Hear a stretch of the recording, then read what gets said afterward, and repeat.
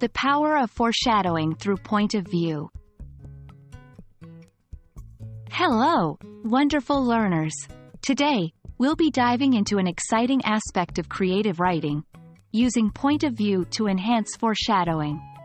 Imagine creating suspense in your reader's mind, leaving them eager to read the next page. That's the power of foreshadowing.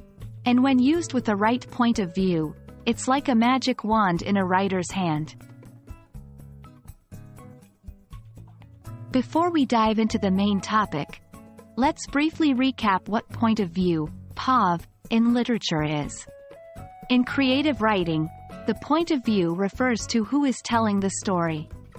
This could be first person, I went to the store, second person, you went to the store, third person limited, she went to the store, thinking about her grocery list. Third person omniscient, she went to the store, unaware that at home, her tea kettle was about to whistle. Each POV offers its own unique lens to the story, allowing the reader to experience the tale from different perspectives. Foreshadowing is a technique used by writers to give hints or clues about what will happen later in the story. It's like a trail of breadcrumbs leading the reader, creating anticipation and suspense. For example, if a character finds a mysterious locket in the beginning, it might play a crucial role in the climax. Now, let's merge these two concepts. First person. The narrator might drop hints about their feelings or something they noticed, which can be subtle clues. As I entered the room, a chill went down my spine, though I couldn't tell why. Second person directly involves the reader. You see an old photograph on the floor, its edges singed. Remember this, for it will matter. Third person limited. We get foreshadowing based on one character's experiences.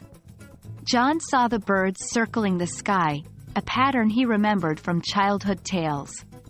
Third person omniscient. The all-knowing narrator can give hints beyond the knowledge of the characters. Little did she know, the letter under her bed would change everything. Using the right POV to deliver your hints makes foreshadowing more nuanced and intriguing. 1. Be subtle. Overly obvious hints can spoil the surprise. The key is to make them noticeable but not glaring. 2. Vary techniques. Use symbolism, dialogue, or direct narration to drop your hints. 3. Relevance. Make sure all foreshadowing elements have relevance in the story. Don't lead your readers on a wild goose chase. And there you have it. The incredible dance between point of view and foreshadowing. By understanding and mastering this combination, you can create unforgettable narratives that resonate with readers. We hope this video has been enlightening and encourages you to experiment with these techniques in your own writing. Happy writing!